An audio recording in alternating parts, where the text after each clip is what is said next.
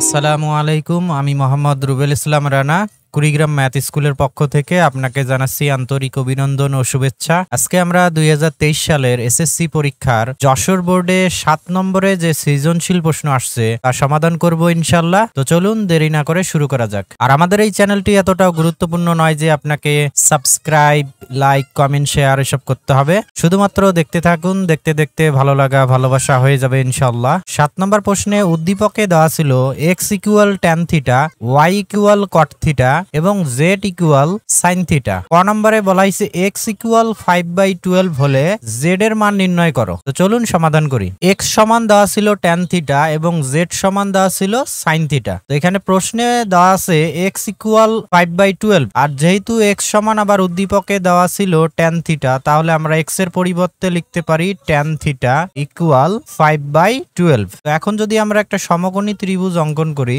এ B C কোন B সমকোণ এবং কোন সি এটা যদি আমরা থিটা কোন কল্পনা করি, তাহলে কোণের বিপরীতে কি থাকে? লম্ব। আর সমকোণের বিপরীতে থাকে অতিভুজ। আর আমরা জানি ট্যান সমান টেড়া লম্বা ভূত। লম্বাতে লম্ব আর ভূতে ভূমি, অর্থাৎ ট্যান সমান লম্ব বাই ভূমি। তাহলে এখানে লম্ব হইল ফাইভ তাহলে এখানে লম্ব হবে ফাইভ আর ভূমি হলো টুয়েলভ তাহলে আমাদের কি বের করতে হবে? অতিভুজ। এখন আমরা লিখব যে ত্রিভুজ এ বি সি এ কোন বি ইকুয়াল নাইনটি ডিগ্রি চিত্রে A B equal five BC equal twelve তাহলে সুতরাং এসি ইকুয়াল এসি হলো অতিভুজ আর অতিভুজের সূত্র আমরা জানি রুট ওভার লম্ব স্কোয়ার যোগ ভূমি স্কোয়ার এখানে লম্ব হলো ফাইভ তাহলে ফাইভ স্কোয়ার প্লাস ভূমি হলো টুয়েলভ আর স্কোয়ার তো ফাইভ স্কোয়ার হলো টোয়েন্টি ফাইভ আর টুয়েলভ স্কোয়ার করলে ওয়ান ফোরটি ফোর যোগ করলে আমরা পাবো ওয়ান সিক্সটি নাইন আর এটা রুট করলে হবে থার্টিন এসির মান আমরা পেয়ে গেলাম। আর আমাদের বলা হয়েছে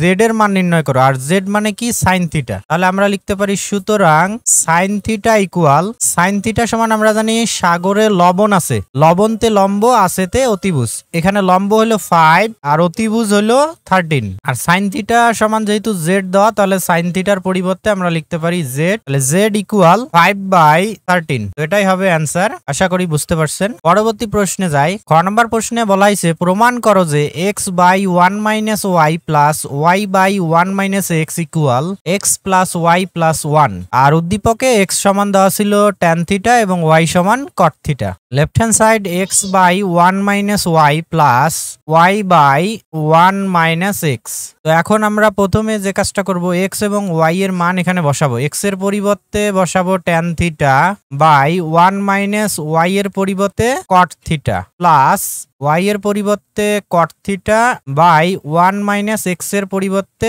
ট্যান থিটা তো এই যে এক্স এবং ওয়াই এর মান বসার পর আমরা যে অঙ্কটা পেলাম, সেটা হলো নয় পয়েন্ট একের যদি আমরা আটের ক নম্বর অঙ্কটা একটু খেয়াল করি, এই অঙ্কটা আর আটের ক নম্বর অঙ্কটা সেম এখন সমাধান করব। তো ট্যান থিটার পরিবর্তে আমরা লিখতে পারি sine theta by cos theta নিচে ওয়ান মাইনাস কট থিটার পরিবর্তে লিখতে পারি cos theta by sine theta plus এখানে কট থিটার পরিবর্তে আমরা লিখতে পারি cos theta by sine theta নিচে ওয়ান মাইনাস ট্যান থিটার পরিবর্তে লিখতে পারি sine theta by cos theta equal উপরে যা আছে আমরা তাই রাখব।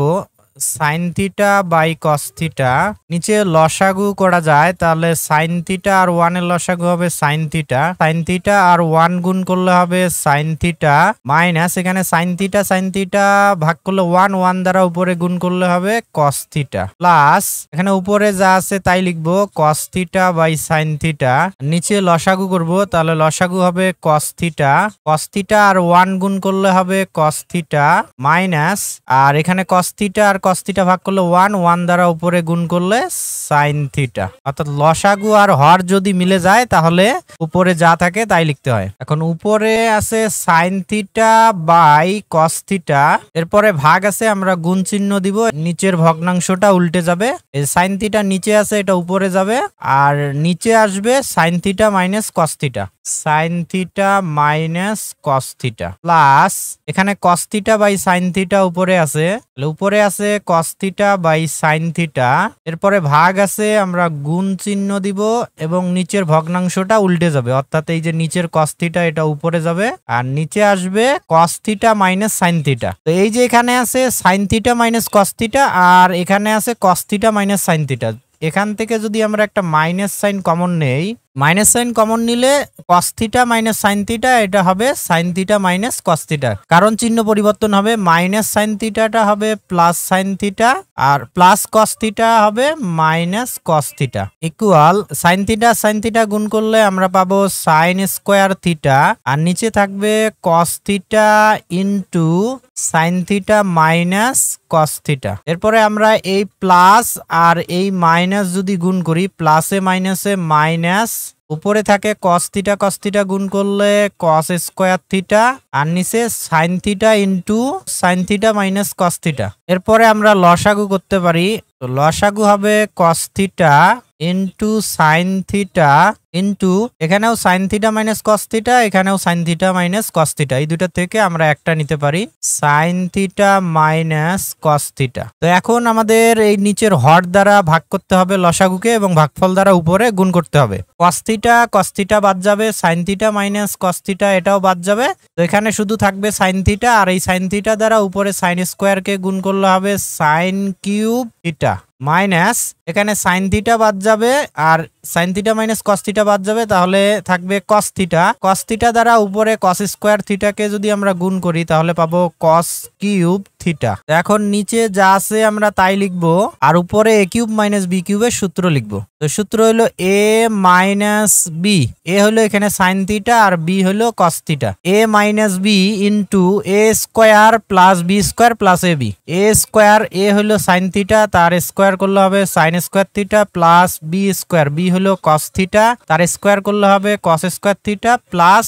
A B A হলো সাইন থিটা ইন্টু বি হলো কস থিটা আর নিচে যা আছে তাই লিখব। Cos theta into sine theta into sine theta minus cos theta sine theta minus cos theta আর sine theta minus cos theta কাটা যাবে। Sine square theta plus cos square থিটার পরিবর্তে আমরা লিখতে পারি ওয়ান কারণ আমরা জানি sine square theta plus cos square theta equal one তার সাথে থাকতেছে plus sine theta into cos theta by নিচে থাকতেছে cos theta into sine theta তো আমরা বাম পক্ষ এই পর্যন্ত রাখব। এরপর আমরা ডান পক্ষে কাজ করব। রাইট হ্যান্ড সাইড দেওয়া আছে X plus Y plus one তো আমাদের বাম পক্ষ যা বেরোইছে, ডান পক্ষ যদি আমরা তাই বের করতে পারি, তাহলেই আমাদের প্রমাণ হয়ে যাবে। তো এক্সের পরিবর্তে আমরা লিখব ট্যান থিটা প্লাস ওয়াই এর পরিবর্তে হলো কট থিটা প্লাস ওয়ান তো ট্যান থিটাকে আমরা লিখতে পারি sine theta by cos theta plus cot থিটাকে আমরা লিখতে পারি cos theta by sine theta এর সাথে থাকবে প্লাস ওয়ান এখন আমরা লসাগু করতে পারি, লসাগু হলো cos theta into sine theta. তাহলে কস থিটা আর কস বাদ যাবে। সাইন থিটা দ্বারা উপরে সাইন থিটাকে গুণ করলে আমরা পাবো সাইন স্কোয়ার থিটা প্লাস এখানে সাইন থিটা সাইন থিটা বাদ গেলে কস থিটা থাকবে। কস থিটা দ্বারা কস থিটাকে গুণ করলে আমরা পাবো কস স্কোয়ার থিটা প্লাস এবার কস থিটা আর সাইন থিটা দ্বারা ওয়ান কে গুণ করলে আমরা পাবো cos theta into sine theta তো sine square theta plus cos square theta এটার পরিবর্তে আমরা লিখতে পারি ওয়ান তার সাথে থাকতেছে plus cos theta into sine theta আর নিচে থাকতেছে cos theta into sine theta এই যে আমাদের বাম পক্ষ যে মান বের হইছে, ডান পক্ষ আমাদের একই মান বের হইছে, তাহলে আমরা লিখতে পারি সুতরাং left hand side equal right hand side প্রমাণিত। আশা করি বুঝতে পারছেন, পরবর্তী প্রশ্নে যাই। গ নাম্বার প্রশ্নে বলা হয়েছে দেখাও যে X plus Z all square minus X minus Z all square equal four into root over X square minus Z square আমরা এখন লিখব left hand side X plus Z all square minus X minus Z X minus Z all square এখন এক্সের মান দেওয়া ছিল tan theta আর Z এর মান হলো সাইন থিটা এক্সের পরিবর্তে আমরা বসাবো টেন থিটা প্লাস জেড এর পরিবর্তে হলো সাইন থিটা অল স্কোয়ার আছে অল স্কোয়ার দেব মাইনাস এক্সের পরিবর্তে ট্যান থিটা